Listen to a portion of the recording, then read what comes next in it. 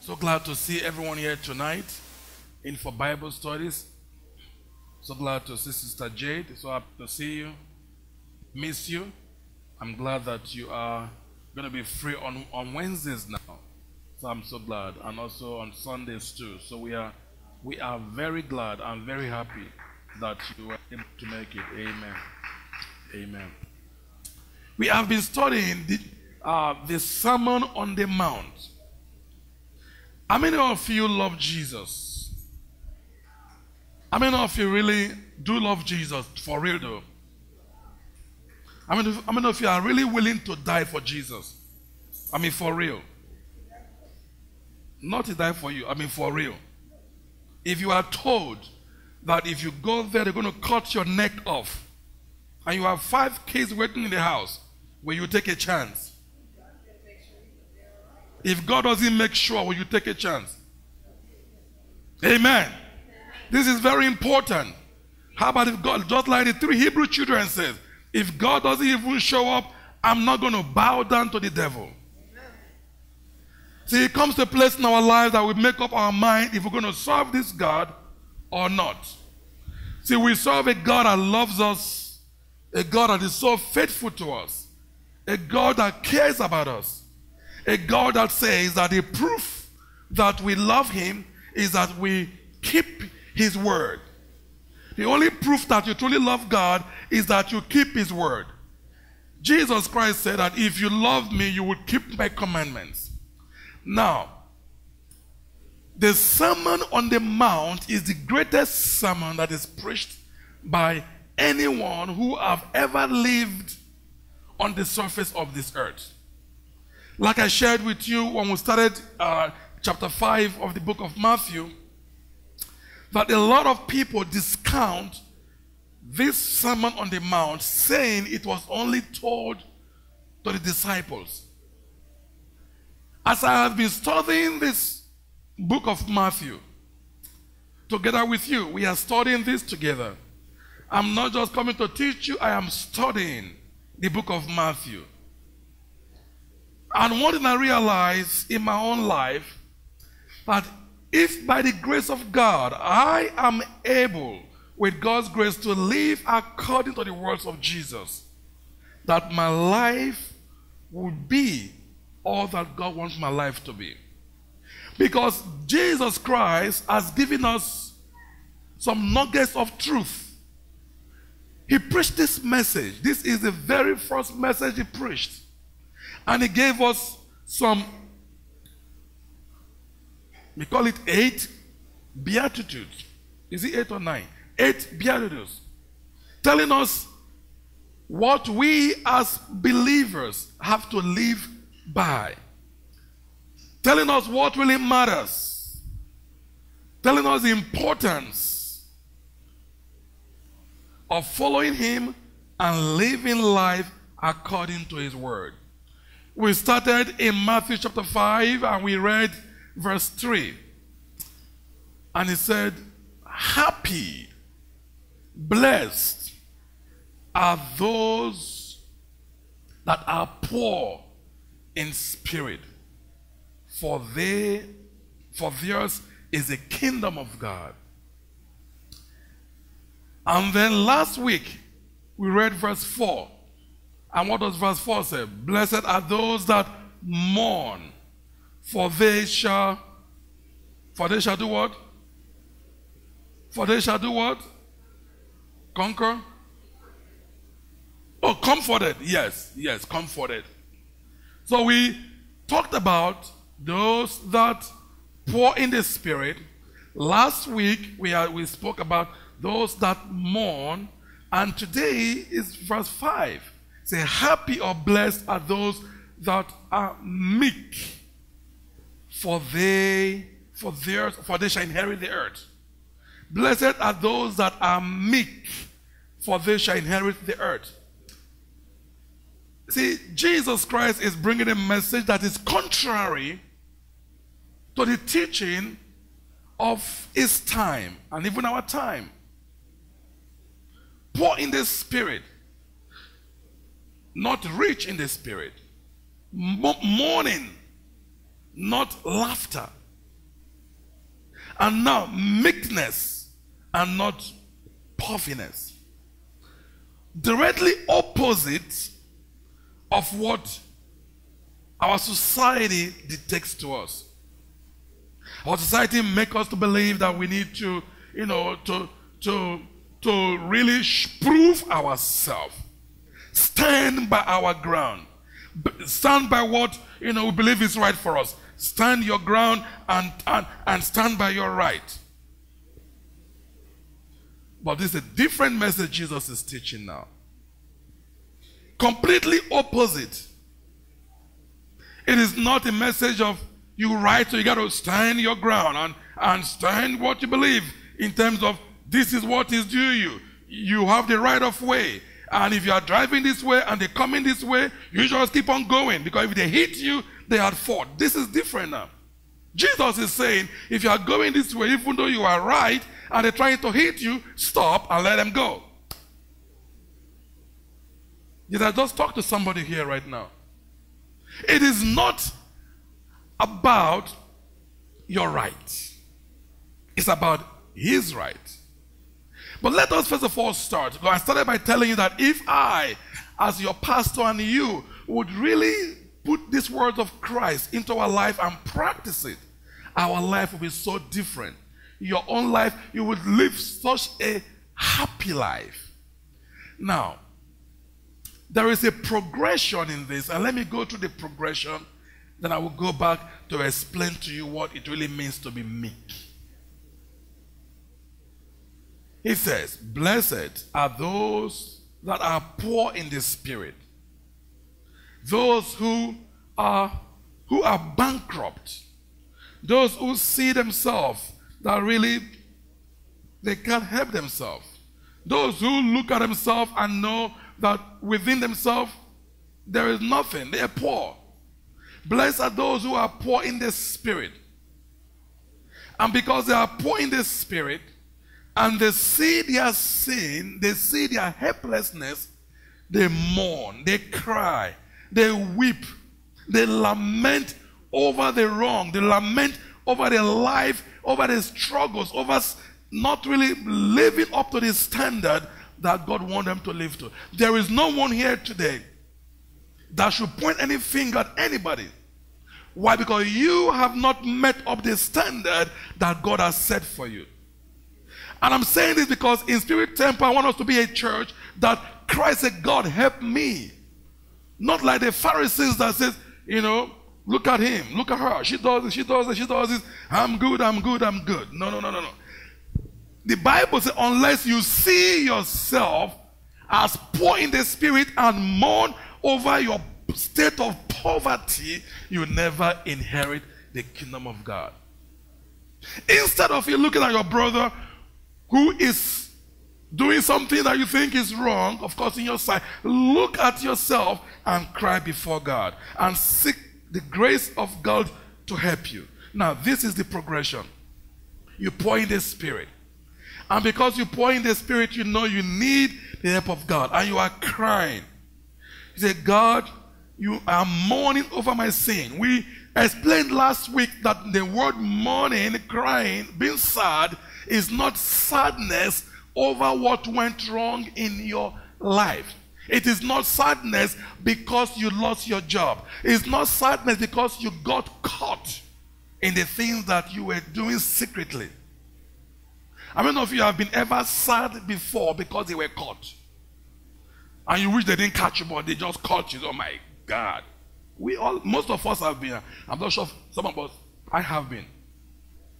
Most of us have been caught. Oh my goodness. They caught me now. Taking the piece of meat from the soup.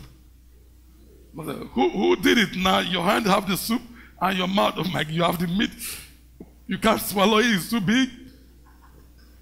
So now you caught. Now you caught. You're feeling sad. Oh my God, mama caught me. Not, not that kind of sadness.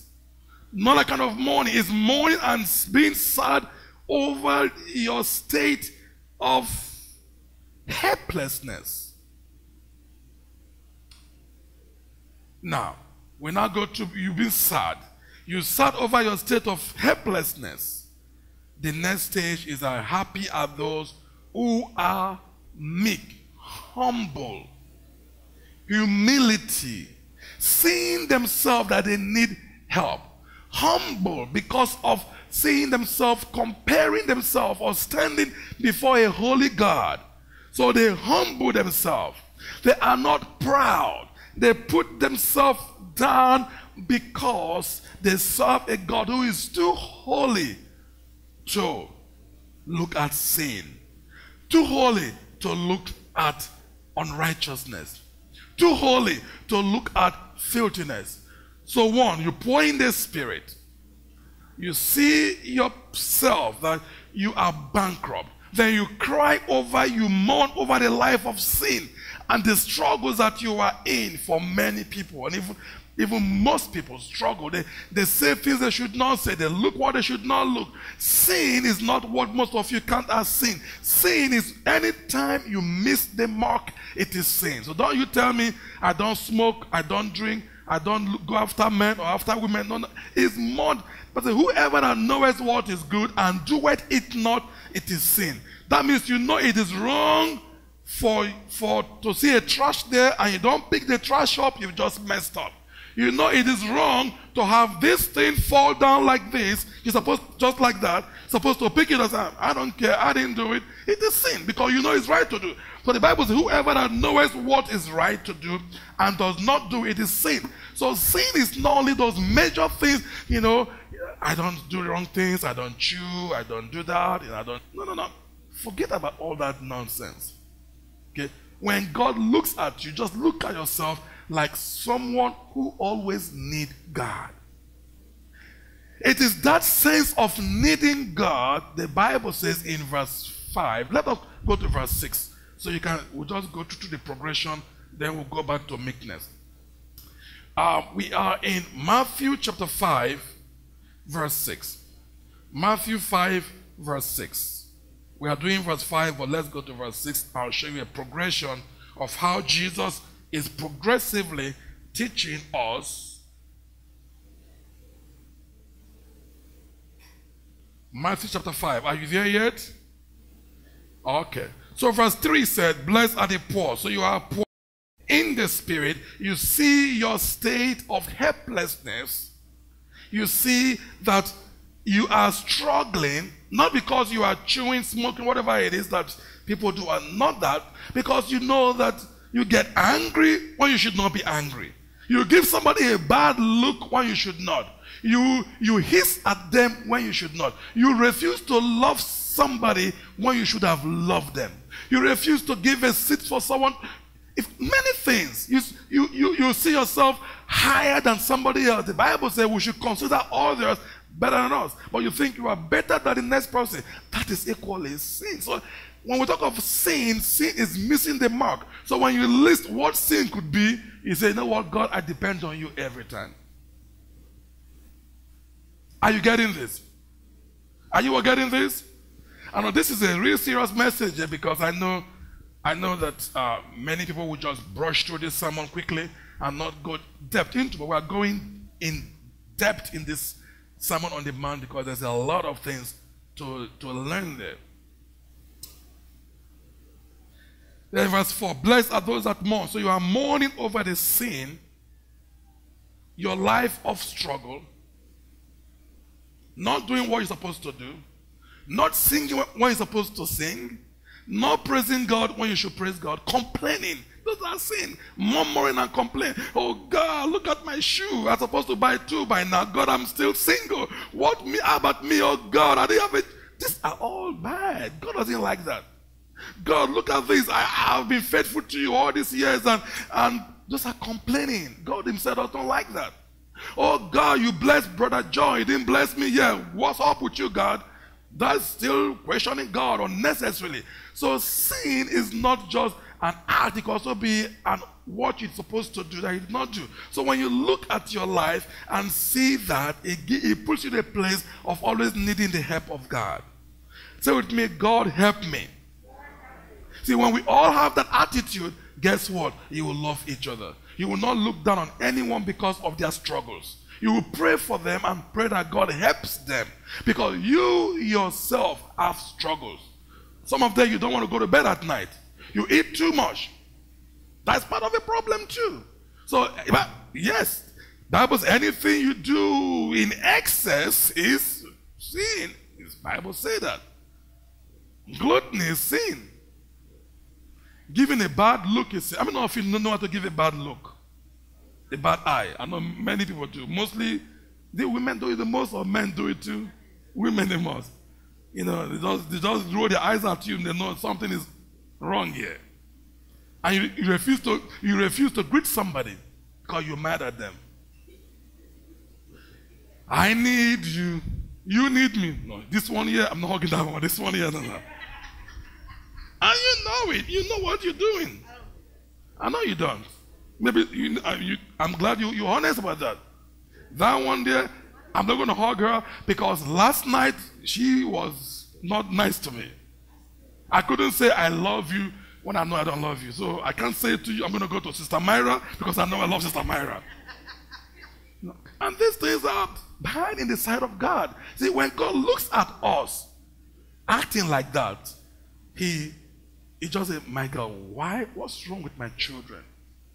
He wants us to really be all that He wants us to be loving, caring, just kind to one another, and just forgiving one another. Instant forgiveness. Letting go instantly, not holding on to stuff, not holding on to offenses that people have, have done. Just let go and just move on with life. Amen? Amen.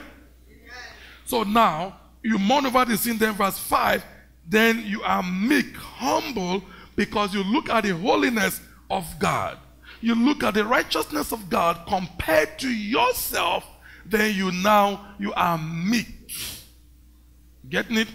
Now, verse 6. Because you see, God is so holy, and now you are humble and meek, you begin to get hungry and you begin to thirst after being like God. Righteousness. See? You begin to thirst after righteousness because now you see yourself compared to God. You are nowhere to be. God is holy. You are not holy. So you humble yourself before God and you begin to thirst and hunger after righteousness. And because of the righteousness of God for your life, because of because of your hunger for God, in your life, you begin to have mercy towards other people because of how God have had mercy on you. And then the next verse talks about being pure in heart. And because of your hunger and thirst for the righteousness of God, guess what happens to your heart? Your heart begins to be pure. Your heart begins to be pure. And when your heart begins to be pure, you know what happens to you? you begin to be a peacemaker. Because now you, you are thinking right, you're acting right, you're living right. So you want to make peace among people. You are no more causing trouble. There are people who are known to be causing trouble. And I thank God we don't have them in this church. They will tell Sister A what Sister B said so they can hit their heads together. You know people do that? Those are troublemakers. If you know one, let me know. And I would I will deal with them. I probably can't even deal with them. God will deal with them. See, but we are all we're called to be peacemakers. And then when you become a peacemaker, wanting people to be peaceful with each other, guess what? The word begin to persecute you in verse 10. They're persecuting you for righteousness' sake. Because you are living the righteous life that God wants you to live. You start being persecuted for righteousness' sake.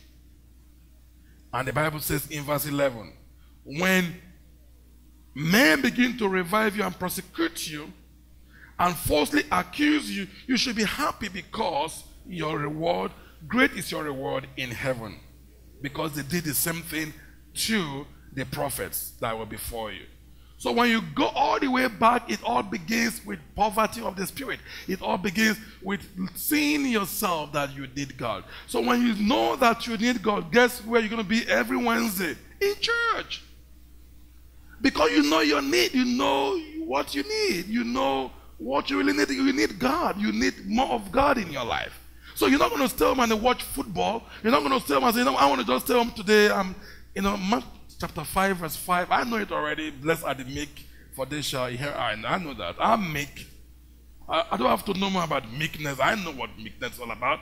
I mean, I learned it when I was in kindergarten. I am meek. Now, let me tell you. Going back to verse 5. Blessed are the meek, for they shall inherit the earth. Now, what exactly is the meek? The dictionary defines meekness incorrectly. Dictionary defines meekness differently from what the Bible means meekness is. Dictionary says meekness is more or less being a coward. Meekness is more or less being a coward. No, meekness has nothing to do with being a coward. Meekness, on the other hand, has to do with humility, gentleness. Everyone say gentleness, say humbleness, say meekness. So the Bible says that blessed are those who are humble before God. When you are humble before God, the humility will show within you. It would be expressed even in everything that you do. God wants us to be humble. Let me give you some, some example of humility, of, of, of, of meekness. When the Bible says Jesus was meek, the Bible says there is no man that have lived on this earth that was before Jesus that was as meek as Moses. So Moses was meek.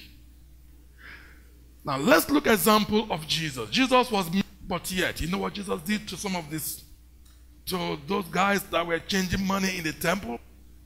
What did Jesus do?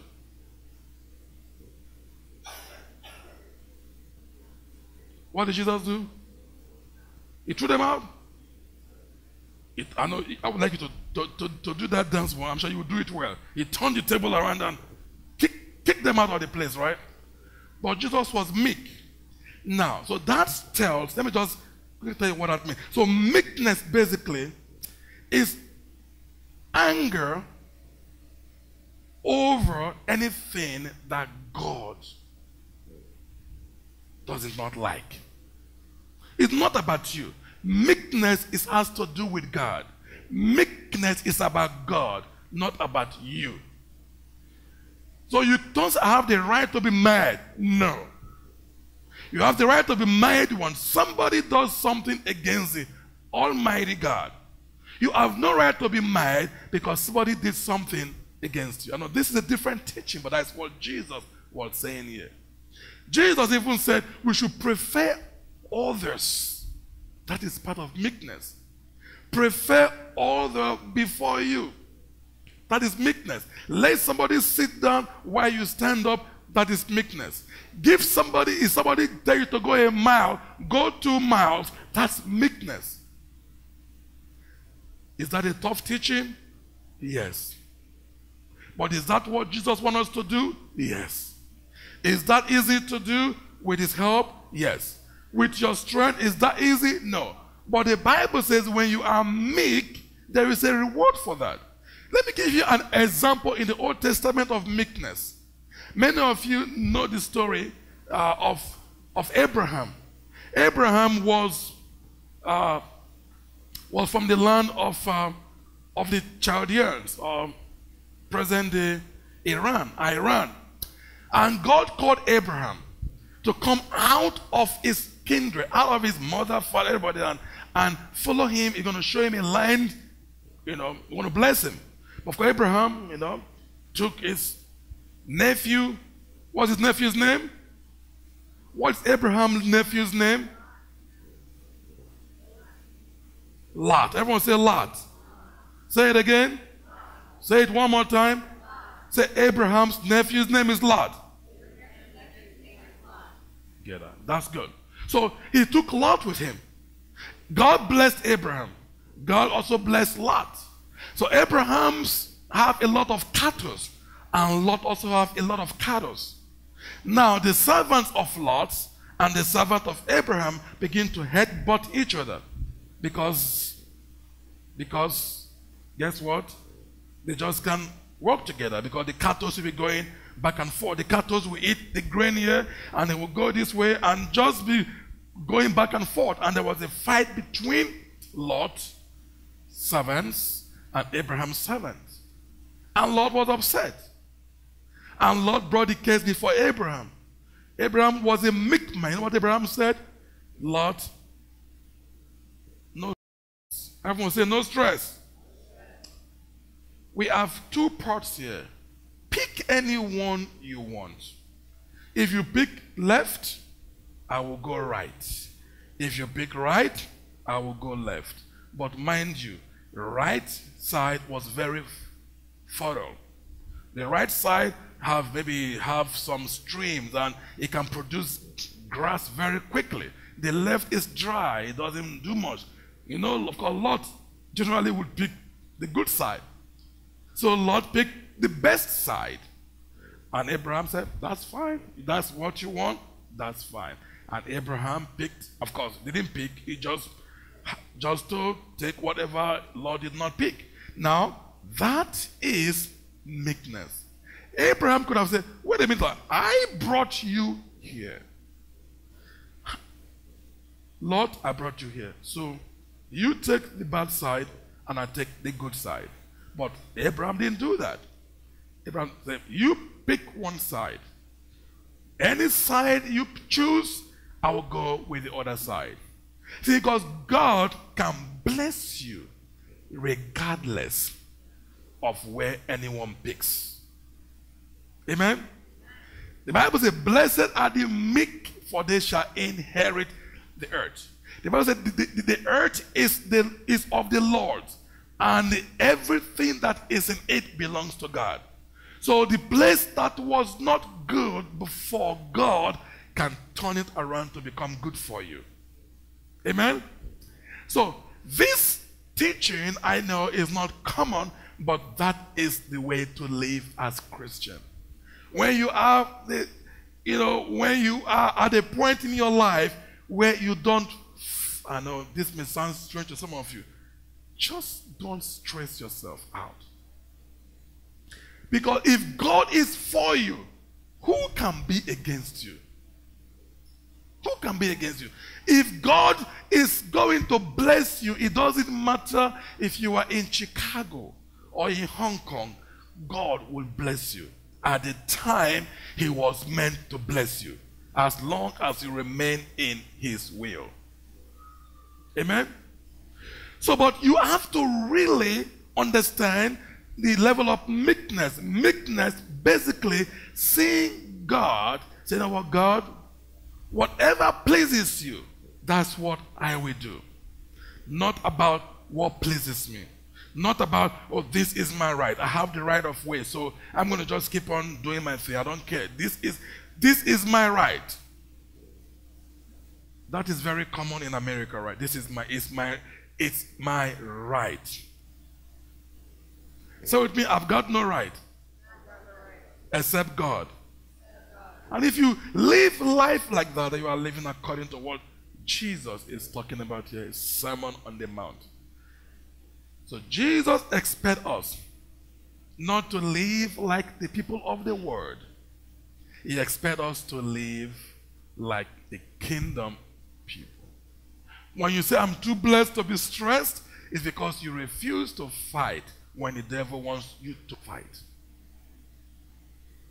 You don't get into the ring with the devil because there is no point. It's to drag you into argument.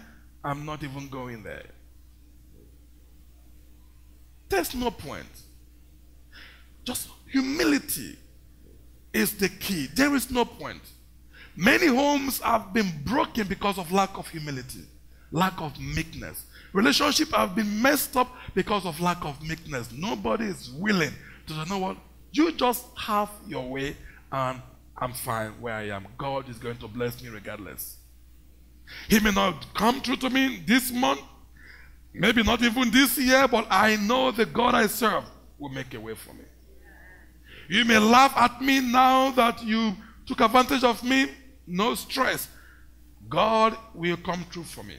And when God comes true for me, everything I lost because of what you did to me in the last three years, God is going to double it. Double, uh, double for your trouble. Everything, the canker worm and everything, everything that you have lost, God will replace them double for your trouble. Everyone say double, double.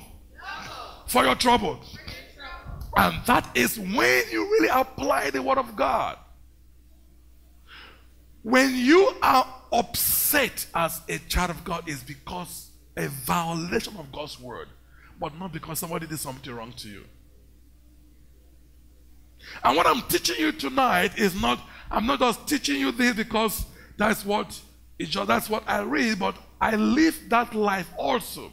And that's why I say you are too blessed to be stressed because I can go to bed sound and well, and nothing would bother me. And my wife would tell you, I don't even care what's happening around me. I'm still just peaceful about it. People will ask me, Are you human? Of course I'm human, but I'm not. Should I go and kill myself?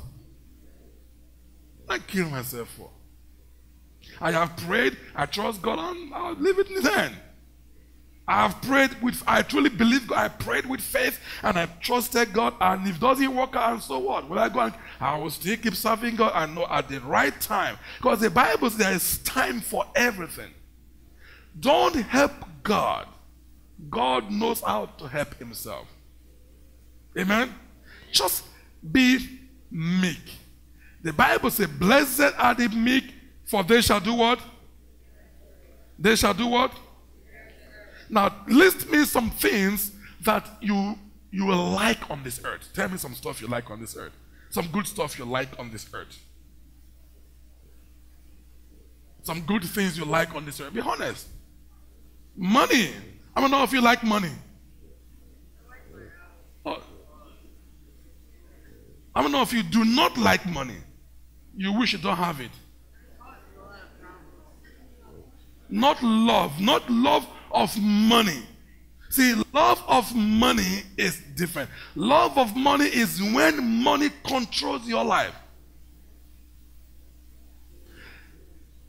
An example of that, my personal life. I learned so well many years ago. I said, God, I thank you that now I know that money doesn't control me. Because you would not know about that until you are in a position where you have to choose money or God.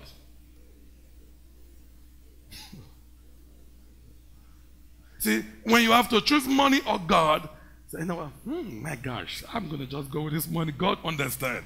No, money have just taken over you. That is the love of money. Amen? So money should not, so there's nothing wrong with money, okay? Money is just a tool Money is a tool. I will teach that when God permits me to teach that. But money is just a tool. Money is neither good or bad. It depends on which hands it falls into. If money gets in the hand of a drug dealer, we are in trouble. If money gets in the hands of a good man, we are blessed. If money gets in the hand of a, of a child uh, pedophile, molester, we are in trouble. Or money get in the hand of a murderer, you can just pay people money to kill people. That's bad. But when money falls in the hand of a righteous man, he start doing something good with that, the same money.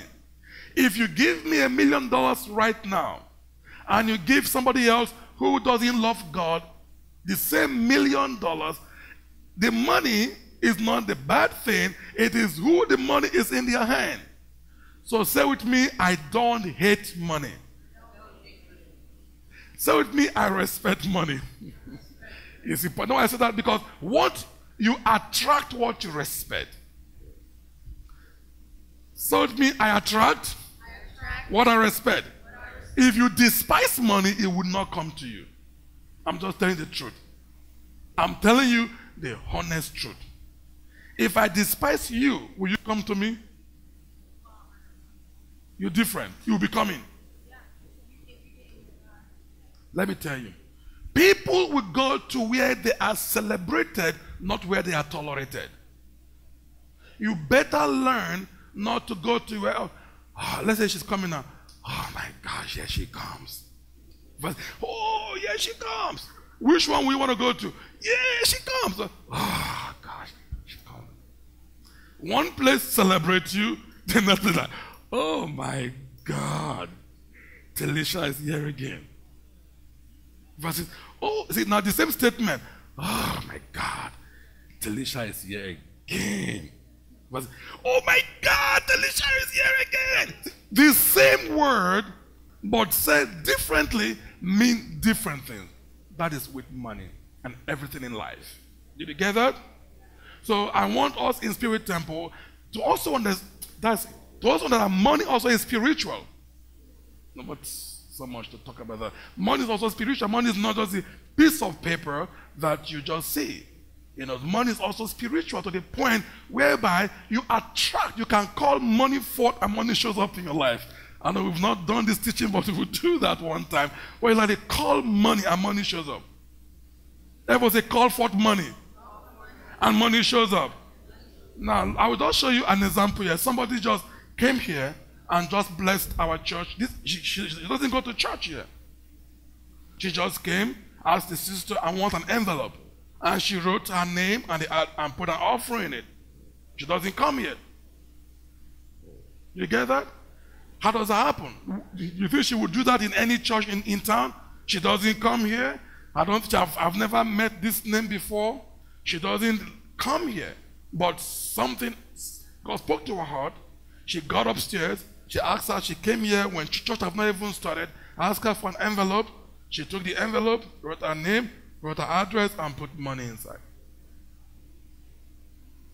You get that? Why? Because we as believers, we are that's a different teaching. Let me not. I know you like to hear about money, but we'll talk about money at another time. Let's. I know you will love that teaching because we all we all want to have money, don't you? Me too. But I'm blessed because you respect money by what you have in your pocket to begin with. If you don't treat what you have in your pocket well, you will not get any big thing in your pocket either. If you have one dollar, treat it well. Don't waste it. Everyone say, I love God. And money respects me. Because I also treat money right. it's very important. These are some little things that you got to learn, you know, in life and in moving forward with God. But now we're talking about meekness. So money is something good on earth. So what else again that is good? Nice house. You say you love. She said, I love my house. I know. I know you like your house. That's why sometimes you just stay in the What else again do you like on earth here? The beach. Oh, she loves the beach. God help you. There's no beach in Allentown. you have to travel far to you like car. You like it. You like cars. Amen. You love cars. What do you like on earth here? You don't know what she likes. Chicken and hair. You like her. So, so you have some things that you like on earth. So the Bible says that blessed are the meek, for they shall inherit. You know what inherit means? What is inherit? What is inherit? inherit becomes yours right who have everything on this earth who has it god so if god said if you are meek humble before me love what i love and hate what i hate i will give you everything on this earth and that includes what money amen so, and, and the Bible says, and what Jesus quoted is actually from the book of Psalm. You know, but let's look at Psalm 37, verse 11, as we talk more about meekness. Psalm 37, 11. Psalm 37, 11. Psalm 37 11. If you are there, let me hear an amen. You say amen. You're not there. Are you there, Sister Quanisha? You there? Read for us, please. 37 11.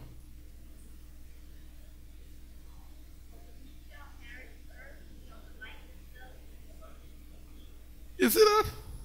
The meek, he said, the meek shall inherit the earth, and enjoy peace and prosperity.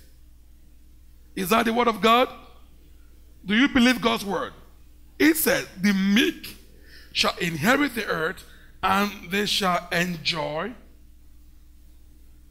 abundance of peace and prosperity.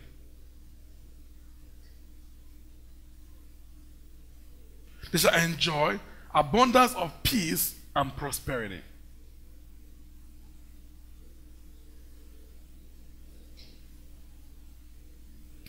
Let's look at Psalms chapter 25, verse 13.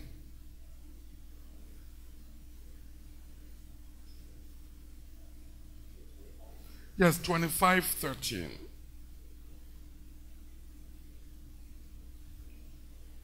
Somebody can read for us, please.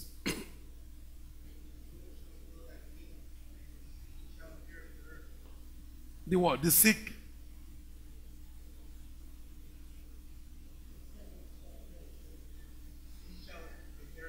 Okay. Descendants shall inherit the earth. Okay, let's go to different chapter. Let's go to Psalm 22, verse 26. Psalm 22, verse 26.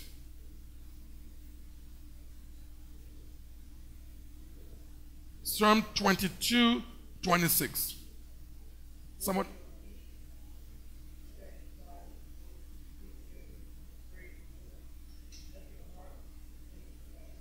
Amen. The, the meek shall eat and be satisfied. They shall praise the Lord. Verse 24, verse 9 says, The meek will he guide in judgment, and the meek will he teach his way. Verse chapter 69, verse 32 says, The meek shall see this and be glad, and your heart shall live that seek him. Psalm 147, verse 6. The Lord lifts up the meek, he casts the wicked down to the ground. So to be meek is very important if you really want to live life on this earth and enjoy God's kingdom on this earth, you have to be meek. Humility. You have to be humble. You don't have to claim your right because somebody offend you. Now you want to be mad at them and keep it in your heart. Don't sleep with the enemy. Many of us sleep with the enemy every night. You know who the enemy is? Who is the enemy? Yourself? No. You sleep with enemy. You sleep with anger. You sleep with unforgiveness, and the enemy is killing you. You sleep with resentment. You sleep with with with with with bitterness. You laying down is laying with you. He wakes you up in the morning and, and reminds you what you forgot to think about the last night of what that person did to you.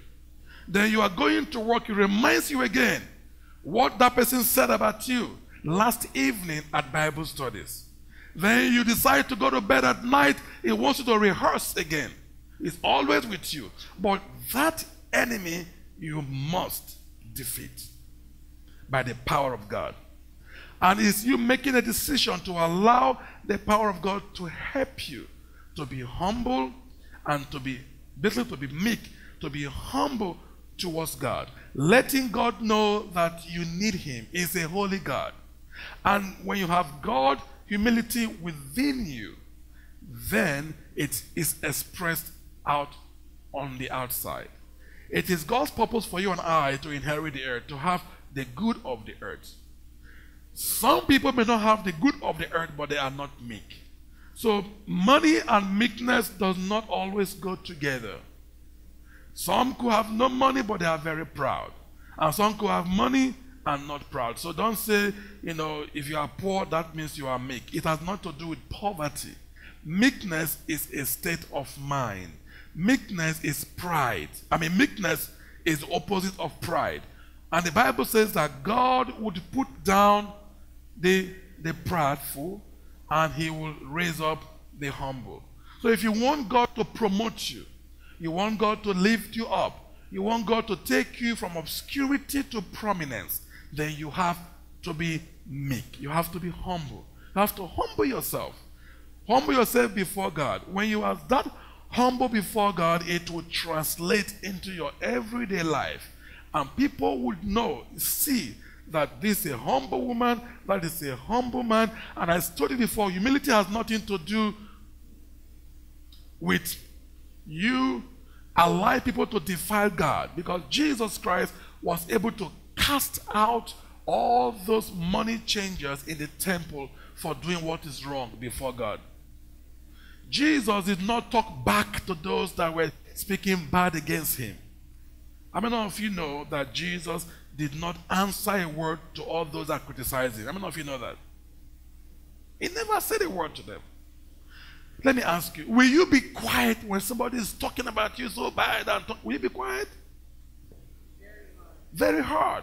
But Jesus wants you to zip up and just trust him. Yes. You see, that is the teaching of Christ. I know it's hard, but you can do it. Let them talk about you, just don't defend yourself. And let God defend you. Just put it in God's hands. You know, because if we take things into our hand, it shows that we are proud now. You know, you, feel, you can't talk about me like that. I mean, who, who, who do you think? who do you think? No, no. Do you know who I am? Do you know? Do you know who I am? You talking to me like that? You talk. I, I'm going to get you arrested right now. Do you know my connections? I know the mayor of Allentown. You know, that is pride kicking in. Do you know me? Can lock you up. I can get you fired now within a week. I, your boss, I, your boss, we are afraid. I'll get you fired by next week if you don't. See, that's pride. So meekness is not fighting your rights.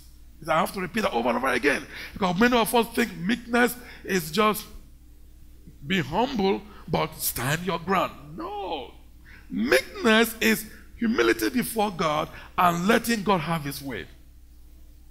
You say, but Pastor, are you saying I shouldn't fight for my right? You know, you, you saying people should just should just ride over me and do what they want to over me. No, you say, Pastor, yes, just leave them alone. Just don't fight. If you need to fight at all, you fight against the spirit that is working in their life. Fight in the room. Deal with that demon, not the person. If she talks bad about me and she gossips me, which I know she would never do that, and you know, and she sees me coming, no, she will never do that. I trust her. She will not do that. How many of you trust her that she won't do that? If you trust her, let me hear you say amen. Oh, they trust you. All right. See, I can pick on her. You know, oh, what was I saying?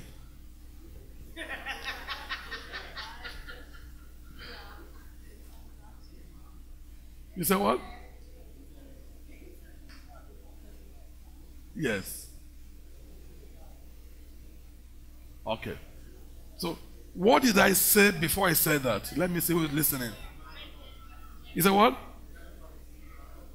Okay. So, if she talks bad about me, if anybody talks bad about you, leave them alone.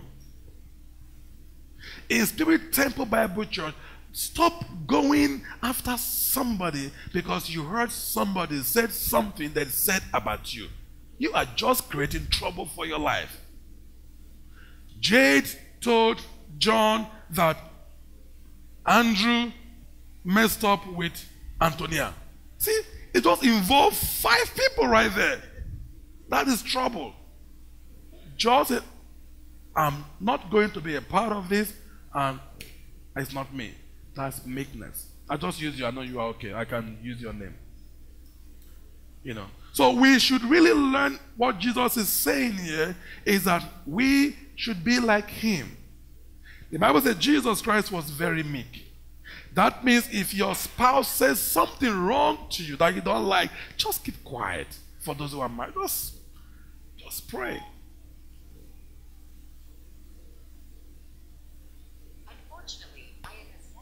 So just pray. instead of you trying to prove yourself and prove your right, just take it to God. Is that a hard teaching? Of course, that's different from what we've been taught, but that is the Word of God. So, as we study in the Beatitude, we're going to see a lot of things that we have to check our life with. We have to check our life. It may not really go well with us in the beginning, but that's really what Jesus expected of us. That's why he says to us, if somebody slap you on the left, what should you do? Say, oh my God, Jesus, did you just say that? Tell me to slap them back. I'll give them all. Let me just give it to them. But Jesus Christ, if they slap you on this, say, please, this one. If you want to slap this one too, if you want to come slap, just this is just Jesus is teaching us this for us to be different from the world, not to be like the world, to be different, because this is the way kingdom people live their life. And if we all live like that, there will be so much peace in our homes, there will be peace in our church, there will be peace in our community. Amen? Amen? Amen? Amen? So that means after this teaching, there will be so much peace in this church. Because everybody heard me now. There will be no more he says, she says. Now I'm upset with her now. She's praying. I'm not going to say amen because I don't like her. Thank God this is not happening in this church. But it happens in a lot of places. It happens. But thank God it's not happening here because we have to talk about this now. God wants us to be humble. Don't be easily offended. Because offense is a blessing blocker. Offense will rob you of the blessings that God has promised you. The enemy will try to make you get offended, but just refuse. You know what? I'm not going to be offended at this. I'm going to just let it go and just trust God and let God deal with them. Amen? Amen? Amen. That's why Jesus Christ said, You have heard, you should love your friends and hate your enemies. Jesus said, No, no, no, got it back. I want you to love your enemies. Don't hate them. See, it's just opposite. It's opposite. It's opposite. So if you really want to be a follower of Jesus, we have to do opposite of what the word does. We can't live like the word. Amen. All right, we'll stop there. Any questions? I know this is uh, this is some teaching tonight. Did you enjoy it? Any questions? Hmm. yes, please. Okay. Please, I'll get you the mic. We can only take three questions.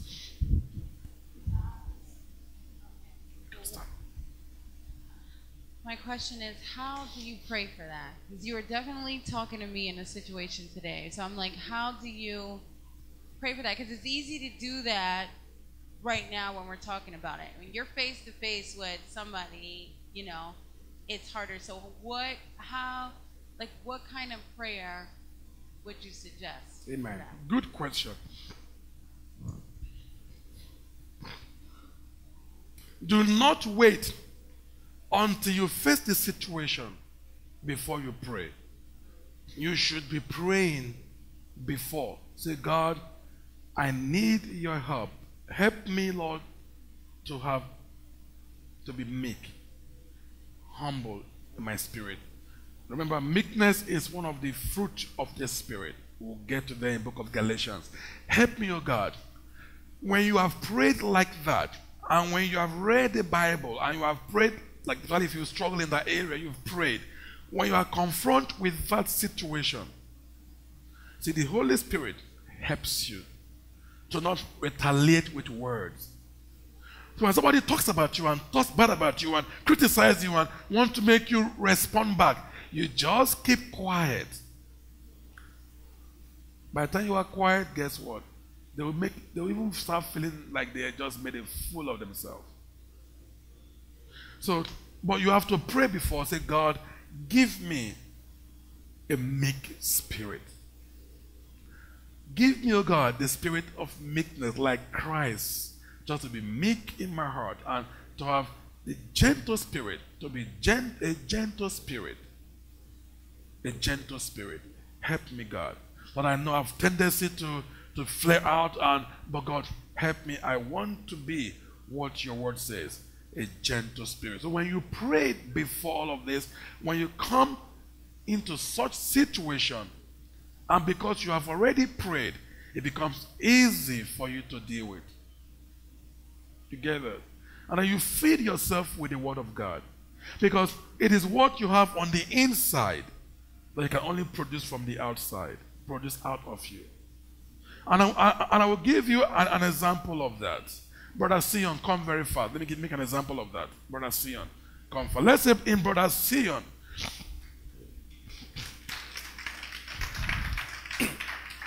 Now, this is Brother Sion.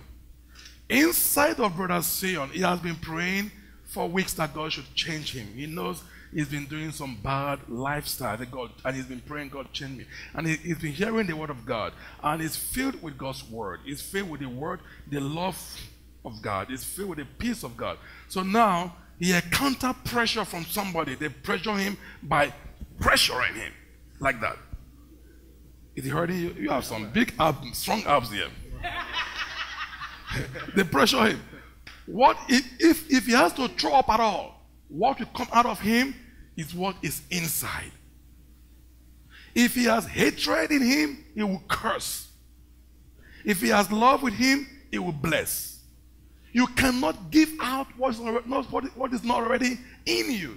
That's why you got to put in you the Word of God every day, in and every day. You can live that life. It's possible. Before the, you don't have to be a pastor to live like that. You can live a life. Everything you hear, everything you see is God's word. So that when trial comes and pressure comes, what comes out of you is God, because that is what you have inside of you. If you put in junk in you, when trouble comes and somebody squeezes you like I'm doing right now, we're going to come out of him what's already inside of him. So the answer that beside prayer is feed yourself with the word of God. See God's word. Stop watching bad movies. That is for me. Maybe it's not for you. Because what you see every day, you say, No, I am grown, I am mature, it doesn't affect me, I know how to control myself. You are lying. Because one day, what you saw that happened on that movie. It's going to happen to you, and you're going to respond exactly what you saw in that movie. Do you believe that? Yes. Exactly. You will respond. Because this mind is a computer. Our mind is a computer. Everything you see is stored in some compartments. It never goes. It's in there. It's just have to be triggered by the same incidents for it to be released. So feed your mind, your spirit with God's word. Avoid watching anything that would mess up your thinking. Yeah, you I tell you the truth, you have nothing to lose doing that. Except to have peace of mind. You go to bed peacefully, you are not afraid of having nightmares or you know, you just peace. Everyone say peace. peace. Amen. Thank God bless you. Any other questions? Now, does that answer your question? Amen. Any other question? Give room for two more questions here. Yes, sister. Who you who else have question? You okay, three. So just okay. No comment here, just questions. You, you have a question. Or is it a comment too? Question, okay. Can, can you get up so they can they can hear you? Yes. Is it Maybe say one off. Okay, you can get up though. Yes. Okay. Amen. Okay, you can make it. Um, no, I was just wondering, like, so say if you're somebody who always in, like, getting negative feedback from like the same person all the time, and it just gets to the point where you just tired of it and you just don't know how to react to that person anymore because all they do is like say negative stuff to you all the time. Yes. So how, how do you deal with that? Did you hear what she said? There are people in your life that constantly saying negative stuff about you to you every day. If they are your spouse, you have to really go fasting and prayer because you can't run away from them. But if it's a friend, you can definitely cut them off. If it is a, if it's a neighbor, you can really cut them off. If it is your boss, you just can't wait to get out of that place and not be in their presence. Or look for a job and look for another job that you don't have to deal with all that garbage. So you have choice to make, but you don't react to them. They can say negative things to you, negative stuff. You have a choice because I, you can be talking to me right now and it's negative, and my mind is focused on something else. I'm not even hearing you. I just refuse to hear you. But I know it takes practice. I just refuse to hear. People call me on the phone, just talk, just go on and on. If I would just be thinking of something else because they won't hang up, they keep on running their mouth, and I'm tired of trying to get away, but they won't stop talking, but all they are saying is negative. I don't want to be rude. I just keep the phone, but I want to hear what they're saying. Now, if they are face to face with you, you have to show also that you are not receiving what they are saying. You know, but if it is if it is a friend and that is the way they live their life, then just tell them, please, I can't deal with this kind of talk. If you're going to be around me next time, please don't talk like that because I can't deal with that. If they keep doing that, then you stop. You just start avoiding them. If they come in this way, you go that way. And that way, you just keep your peace and keep your sanity. Because you cannot afford to mess up your heart. The Bible says, no, no the Bible says, He said, protect your, your what? Because out of it are the issues of what? Life. Protect it. How do you protect your heart? Based on what you hear, what you see, and what comes in here. And look at me. They are fine there. Protect, they are fine there. Look at me. You're not even here. Look at me. They are fine there. Protect your heart. Because out of your heart are the issues of life. Issues of life. Anything in life comes out of here.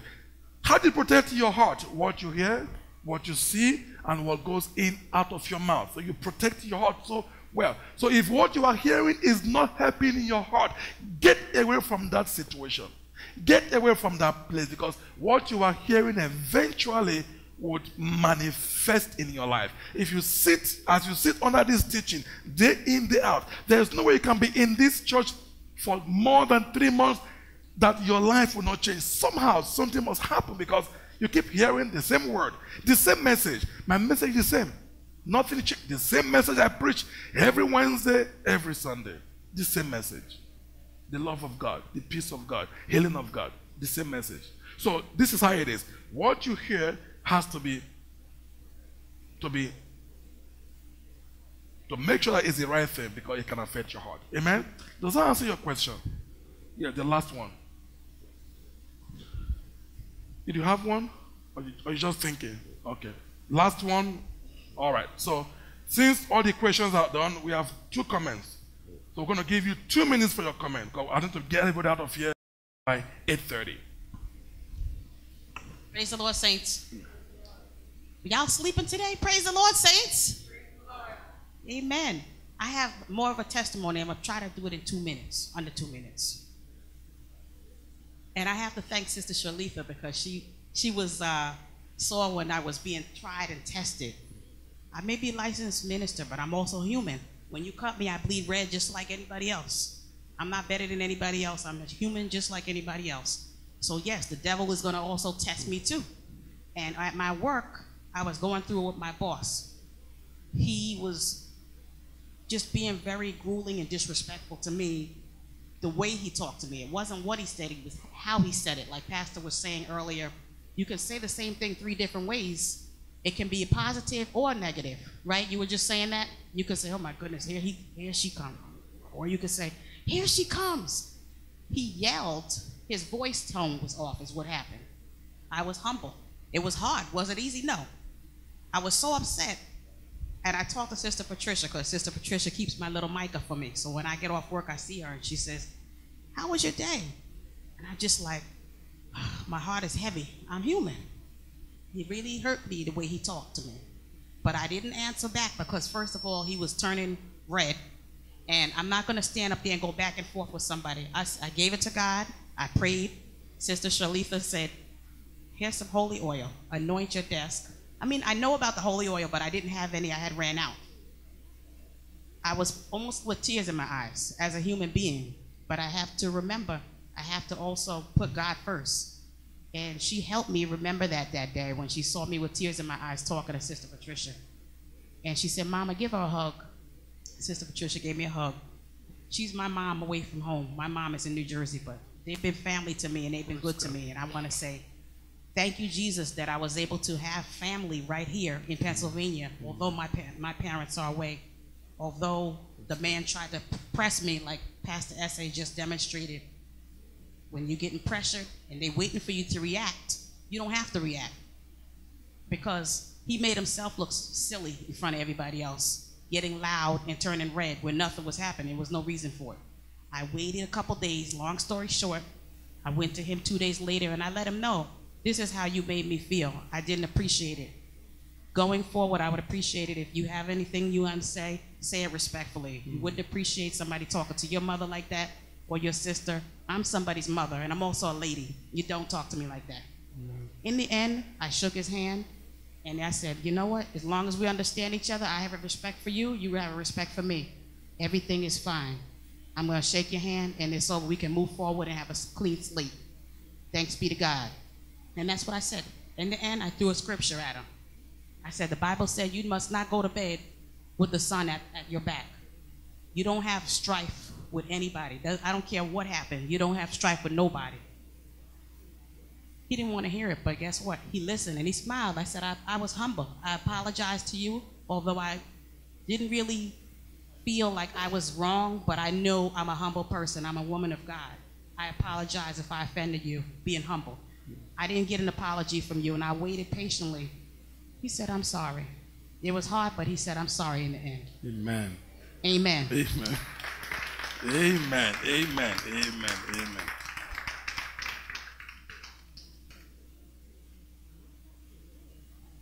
And even though he did not say he's sorry, even though it, even though he never said it at all for the next 20 years, you still just your mind on God because some people would never say they are sorry. But that shouldn't bother you. Just say, well, God, I trust you. Amen?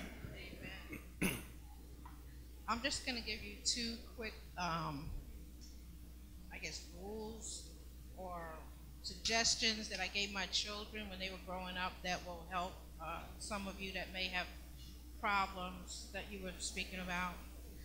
My daughter came running in the house one day. She was about 12 years old at the time, and she said, Mommy, Mommy, this boy called me a hoe.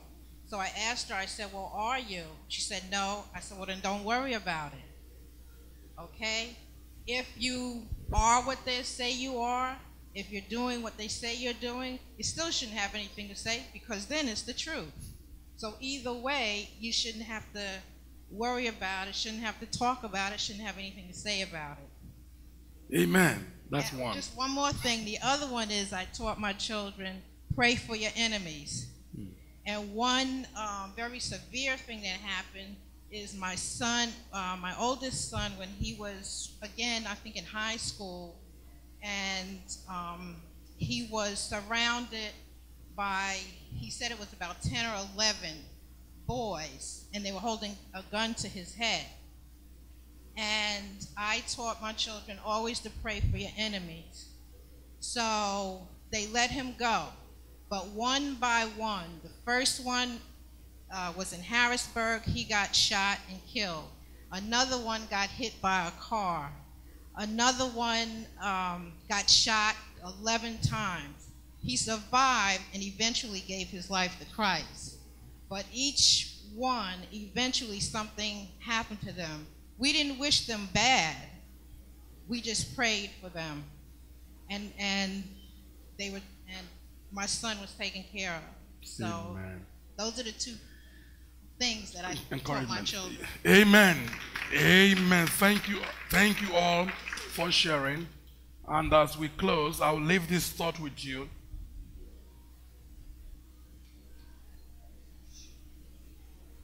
Blessed are those who are meek, for they shall inherit the earth. Humility before God. Humble yourself before God and seek His righteousness. Live a life of gentleness and humility because the Spirit of God that lives in you is a gentle spirit. Don't be fooled by saying, No, I'm not gentle. That is not me. The Bible says you should be gentle. No, that you don't know me. I'm not. I'm hyper. No, you gentle. Just be speaking it to yourself. I have the Spirit of Christ. The Spirit of the Holy Spirit is. The Bible calls him as a gentle spirit. So it lives in you. So let that gentle spirit of the Holy Spirit comes out in you. Amen. Say with me, I am gentle because the Spirit of God lives in me. Let us rise as we pray. Our Father, we thank you tonight for this study. We bless you, God, that you are grooming us, you are making us into who you want us to be, Lord. Lord, we know this teaching tonight might be hard for some of us. We pray that, Lord, will give each, each and every one of us the grace to live by your word, and that your, your word would transform our life and chip out anything in us that is not right. Help us, O God, even as we give tonight into the work of your kingdom. We pray that, Lord, will bless every hand that is given and let your blessing rest upon the, our lives. Father, we thank you. In Jesus' name we pray. Amen. Amen.